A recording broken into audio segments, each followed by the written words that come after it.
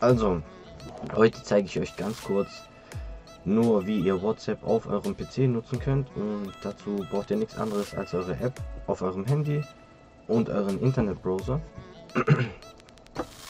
Wir gehen jetzt schon mal in Google hier rein. Ähm, dann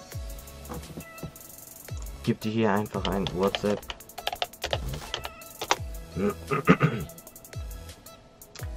Dann kommt hier auch schon die WhatsApp-Webseite.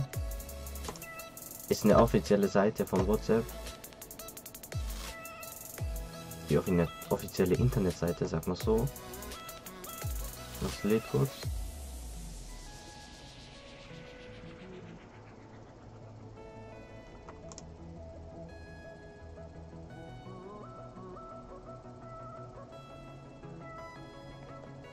So.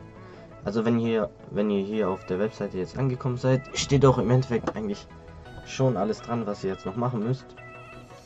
Schritt 1 öffnet euer WhatsApp auf eurem Telefon, tippt auf Menü oder Einstellungen und wählt dann WhatsApp Web aus. Und danach scannt ihr einfach nur noch den QR-Code. Das Ganze machen wir jetzt kurz.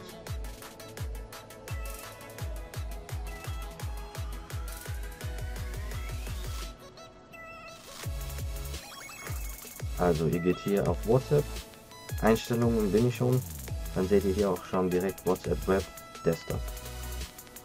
Drückt ihr drauf und dann seht ihr schon, dass er euren QR-Code abscannen möchte. Das funktioniert auch relativ schnell. Und das war's auch schon. Jetzt könnt ihr sehen, habt ihr euren Chatverlauf, den kompletten Chatverlauf hier auf eurem PC und könnt WhatsApp auf dem PC nutzen.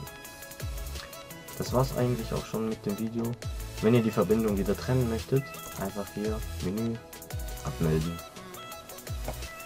Und dann war's das auch schon.